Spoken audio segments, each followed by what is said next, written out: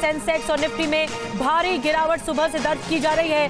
Sensex 2600 अंक तक नीचे गिर चुका है, जबकि निफ्टी 700 अंक लुढ़ गया है। आपको बता दें कि इस गिरावट की वजह से निवेशकों के करीब साढ़े नौ लाख करोड़ रुपए डूब गए। एक तरह से बाज़ार में आज सुबह से ही हाहाकार मचा हुआ है। ये बहुत चिंताजनक बात है और ये गिरावट किस संकेत को लेकर आ रही है, बताने के लिए गौरव अग्रवाल हमारे सहयोगी जुड़ गए गौरव, क्यों गिरावट दर्ज की जा रही है और इतनी ज़्यादा गिरावट सेंसेक्स और निफ्टी में सबसे ज़्यादा गिरावट है आज सुबह से? देखिए निधि, आज कह सकते हैं आप कि आज का जो सोमवार है, वो शेयर बाज़ार में हाहाकार लेकर आया है। अभी तक 800 से ज़्यादा अंकों की गिरावट निफ्टी में देखी जा चुकी है और 2700 से ज़्यादा अंकों की गिरावट सेंसेक्स में देखी जा चुकी है। ये पूरी तरह से अंतर्राष्ट्रीय कारणों की वजह से गिरावट देखी जा रही है। सबसे पहला जो और बड़ा कारण बताया जा रहा है, वो ये है कि अमेरिका में मंदी के आसार दिख रहे हैं। वहाँ पर मंदी के की संभावना को जताने वाला इंडेक्स इस वक्त पॉइंट फाइव पे है, जो कि बताया जाता है कि बहुत प्रबल संभावना है अमेरिका में मंदी आए। क्योंकि जुलाई में जो वहाँ नौकरियों के आंकड़े आए हैं, वो पिछले साल की तुलना में लगभग पचास फ़ीसदी कम आए हैं और बेरोजगारी दर भी वहाँ पर बढ़ गई है। दूसरी जो सबसे बड़ी कारण बड़ा कारण बताया जा रहा है, वो जो बताया जा रहा है बैंक ऑफ़ जापान का ब्याज दरों में बढ़ोतरी करना, जिससे येन के दामों में बढ़ोतरी हुई है डॉलर के मुकाबले। और अमेरिका की जो बड़ी टेक्नोलॉजी कंपनियाँ हैं, जिसमें इंटेल शामिल है अमेजन शामिल है माइक्रोचिप शामिल है, वो दस से पच्चीस परसेंट तक टूट गई है।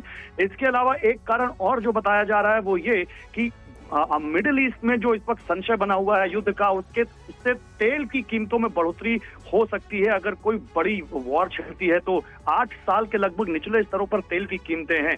आप देखिए, इसका पूरी दुनिया पर असर पड़ रहा है। जापान का बाज़ार उन्नीस सौ सत्तासी के बाद अभी सबसे बड़ी गिरावट देख रहा है। निकेई टू टू फाइव तेरह परसेंट टूट चुका है। ताइवान छह से सात परसेंट टूट चुका है। साउथ कोरिया आठ परसेंट टूट चुका है। सिंगापुर चार परसेंट टूट चुका है। और भारतीय शेयर बाजारों में भी इसका असर दिख रहा है कि जो भारतीय बाजारों में क्योंकि बहुत इस वक्त ऊँचे स्तरों पर भारतीय बाज़ार थे लोगों ने एफ़ ने और लोगों ने काफ़ी अच्छे पैसे बनाए थे तो वो अब यहाँ से अपने पैसों की बिकवाली करते हुए दिख रहे हैं।